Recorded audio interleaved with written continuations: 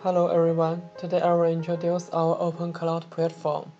With this platform, user can send data from VBox to third-party server.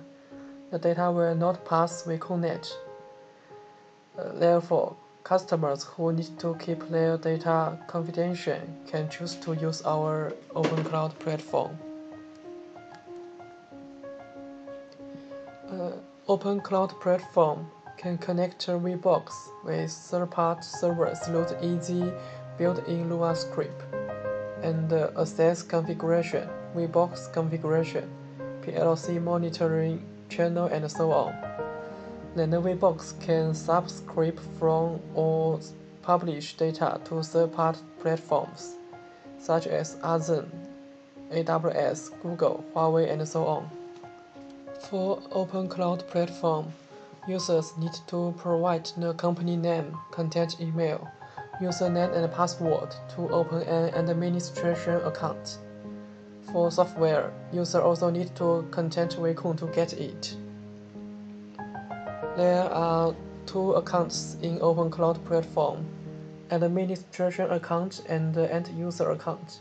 An administration account is like parent account. It can create end user account, configure different IoT configuration and share to different end user accounts. And the end user account is like sub account.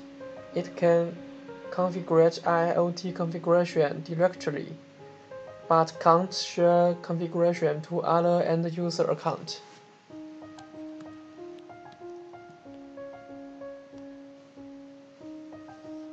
And uh, this is what our cloud tour look like.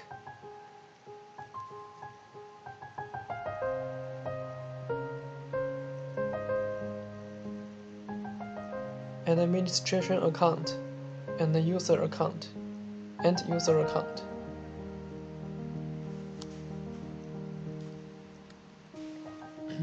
The configuration interface is similar to VNet access software.